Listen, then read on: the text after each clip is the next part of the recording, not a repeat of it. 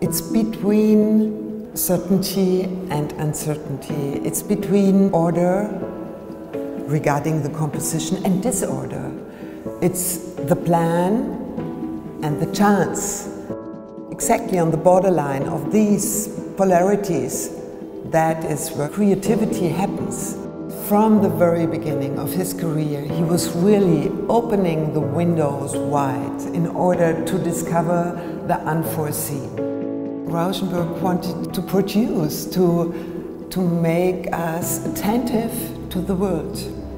It's a surprising fact that the details, a brushstroke or a chair is visible, but it is not very clear.